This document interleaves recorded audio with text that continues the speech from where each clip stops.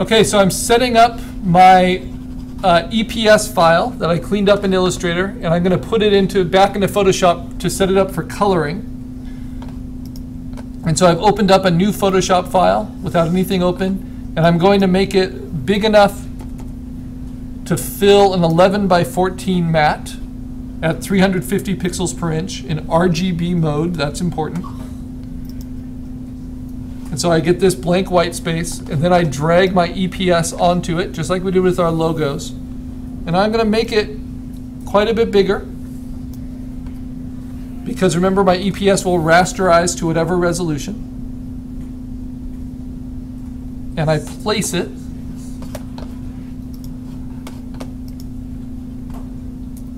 and now it's very, very clean and yet a raster. Okay, so now it allows me to build a paint layer, just a new a new layer that I put in between the black line work and the background. And I'm going to call it my flat color layer, new blank layer, move it in between the two, lock my uh, vector, even though it's a spot illustration, it won't let me edit it anyway and my background. So now when I color, just pick a color here, with a brush, it will go behind my line work. So that's how I'm going to color my spot illustration. Okay, that is set up.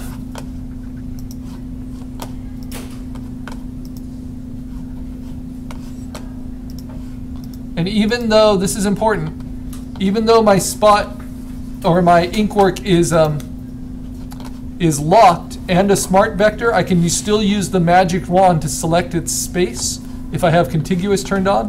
And then I can go to my flat color layer and pick a color and then fill it in using the paint bucket tool. And so this is ultimately what we're going to do. We have our vectors as a separate layer than our color. Our color is raster, our line work is vector, and we use the two to make our, our digital art. So I'm going to save that for the moment. It's Carl Spot Illustrations Assignment 7 as a PSD file to the desktop. Okay? But there are lots of ways to get your, your black line work before you start coloring. And so I want to show you some of those other ways. And even some ways that don't require Illustrator necessarily. Okay. So, starting with my sketch. So what if I just did my pencil and I never inked it? Where do I have that? Here it is. So I just have my sketch and I have it opened in preview here. Now you'll notice with pencil there's lots of little artifacts from where I drew and redrew, lots of kind of messiness. So even without Photoshop, if I just use the simple image viewing program Preview on a Mac or the equivalent on a PC, I can adjust the levels, the brightness contrast, and I can try to, to get the, the paper white to be truly white, like so.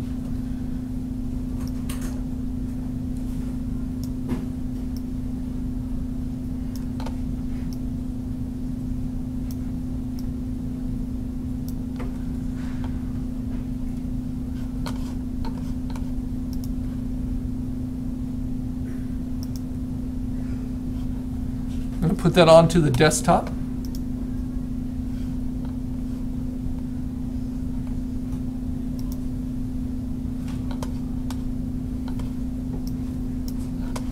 So there it is. Now, I'm going to open it. Actually, no, I won't even use Photoshop for this. So now, how do I get a vector just from my, my black and white? Pencil sketch? Well, if you go to my website, I try to make some of these helpful links available to you. So carlfry.com, and you just scroll down. You'll see these different program options. And this one right here in the bottom right hand corner is called Vector Magic. And it's just an online tool that helps you see what your vectors can be. So I'm going to upload an image off my desktop. And it's just my pencil sketch image. And this is basically a live tracing program. And this is just a preview of it, but you see it looks at the image and now it's going to try to trace it and classify it.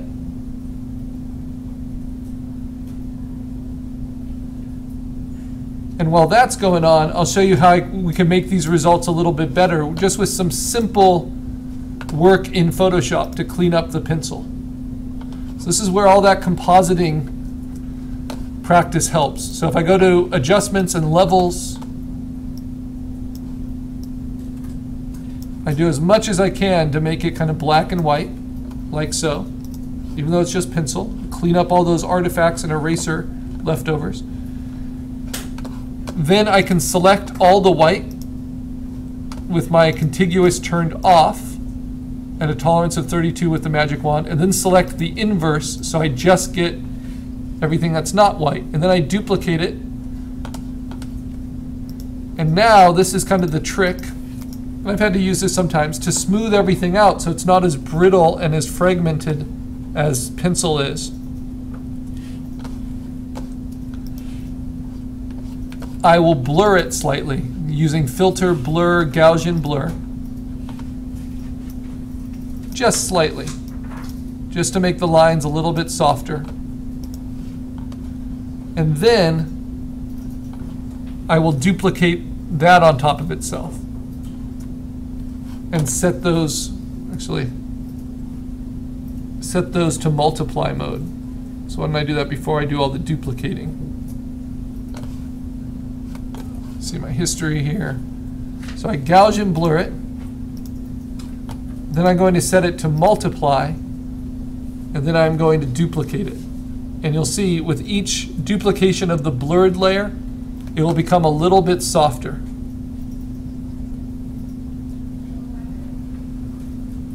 And a little bit darker.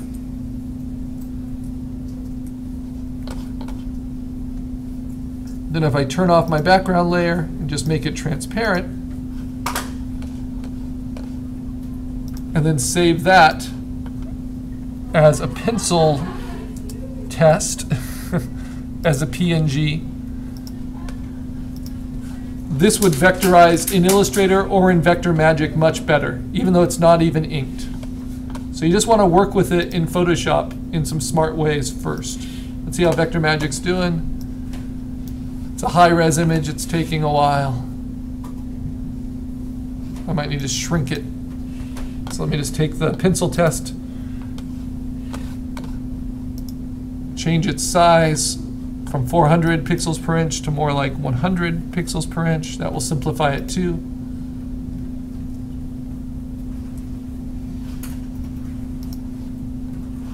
And then these programs are made to kind of recognize digital artifacts and noise and to simplify that out.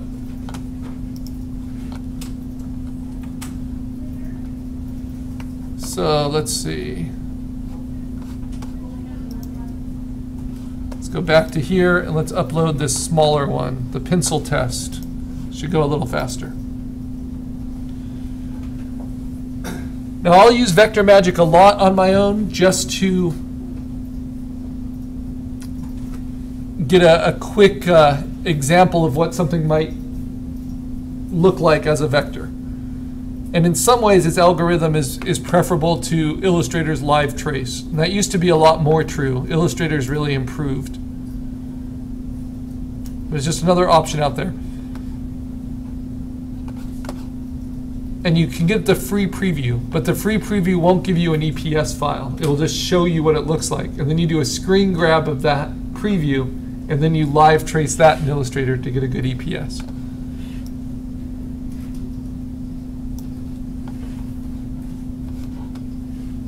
So it is nice to have Illustrator as an option. All right, so there it is traced. And you can see it made some interesting choices. Very angular. And if I didn't like how that worked, I could try it as a low quality scan. And it will smooth things out a little bit more, but I might lose some of my detail. So we'll check back on that. The other option I have, of course, is to just start with my pencil sketch. And then do a new layer in Photoshop.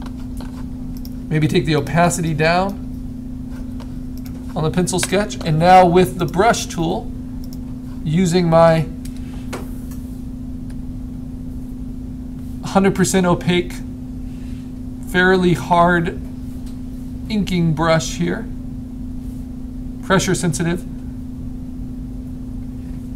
I can digitally ink my pencil design. Instead of inking it with a real pen on tracing paper and then scanning it.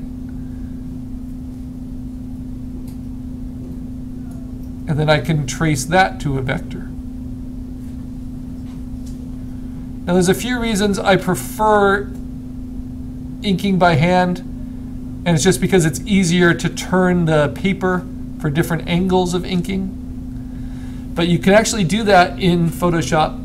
It's under the hand tool. If you do the rotate view tool, you can tilt it so that you can get better angles for, for inking certain lines, like this curve. Especially going thick to thin.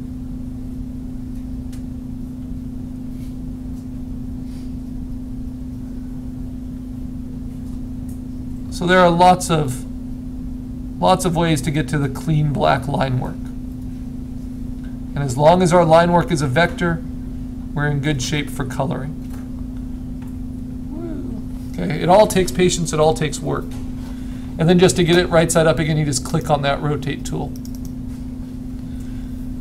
And I'm doing that on a separate layer so I can get clean inking that way. Okay, let's check in on the vector magic approach. Ah, much better. So at low quality, it smoothed it out. Remember, this was just pencil to start with. And then if I want to be even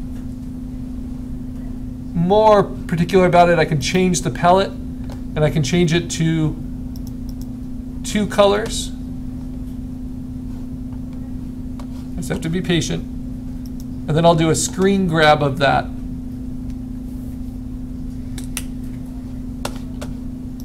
While that's working, what I can do is think about how am I going to color this?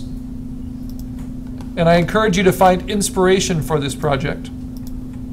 Just like I found all those blob images, these are some of the, the Christmas card color inspirations I found.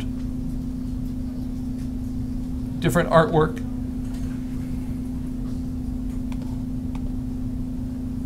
And part of me wants to keep it really simple, like that, but I don't get to show you a lot of digital coloring that way. So I kind of like the look of kind of ink that's overlaying simple colors. That works well. So I might do flat color like that. I kind of like the simplicity of this duotone. Actually, no, this is flat color, which is black and white. And very strong and graphic. So it's good to find inspiration. I like the hand-done quality of these flat colors. These are all from silkscreen cards and they're all flat color. Then if I wanted something a little bit more complicated, different tones, I can actually steal colors from these different images when I'm ready to do my coloring. And I can get very complex if I want to with my coloring behind my black line work.